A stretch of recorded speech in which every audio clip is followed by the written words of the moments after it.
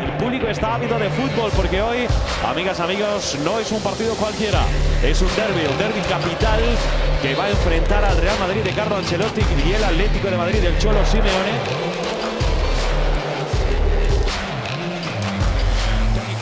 Griezmann a la izquierda para que llegue Saúl para meter ese centro. Es bueno, es bueno, es bueno,